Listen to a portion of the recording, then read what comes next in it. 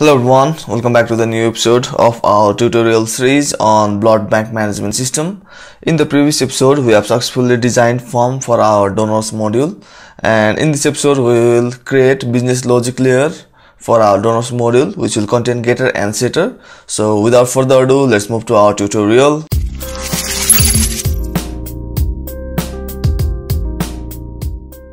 So let's go to our project this is my project which is blood bank management system and let's open our project by double clicking on our solution file which is blood bank management system dot solution and our project will open on visual studio IDE and this is the form we have designed in our previous tutorial and today we will create business logic layer based on the database design of our TBL donors. So let's go to our database which is blood bank management system.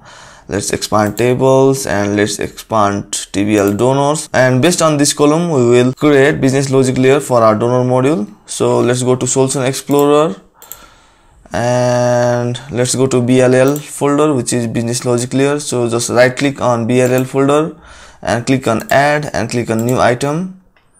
And from here select visual C sharp items and select class.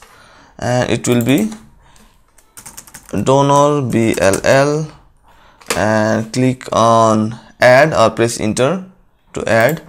So this will be our donor business logic layer. Here we will create getter and setter based on this database design. So let's start with our donor id and in order to create getter and setter i will use a shortcut which is prop and tab tab press tab twice. So first one will be integer press tab and it will be of it will be donor underscore id and then press enter and again enter again prop tab tab it will be of string data type and press tab and it will be first underscore name and press enter enter.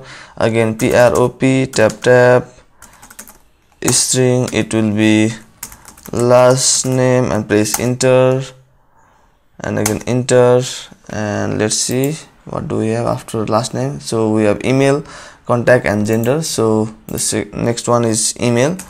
Prop tab tab it will be it will also be of string data type. So email press enter enter. Prop tab tab string tab contact press enter enter. Again prop tab tab string press enter tab and then it will be gender press enter enter and then what do we have here? And then address and then blood group. Address and then blood group. So prop tab tab. Address will be of string data type. String and then address press enter prop prop tab tab string tab and it will be blood group. So bl blood underscore group press enter enter. After that let's check it out. So blood group and then edit date and image name. So prop tab tab. It will be date time edit date enter enter. Prop tab tab. It will be string tab image underscore name press enter and the last one will be added by.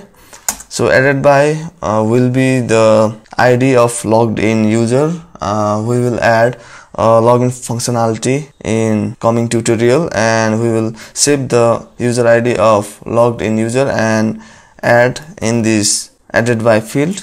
Uh, it is for security measures so that we can track who uh, which donor was added by which user so prop tab tab and it will be integer and last one will be added underscore by. So that's it. Press enter. So let's count how many field have we added. So 1 2 3 4 5 6 7 8 9 10 11 and let's check in our database design as well 1 2 3 4 5 6 7 8 9 10 11 so that's it guys. We have successfully designed business logic layer for our donor module which contains getter and setter based on the database design. So thanks so much for watching. If, if you like this video then don't forget to like share and comment.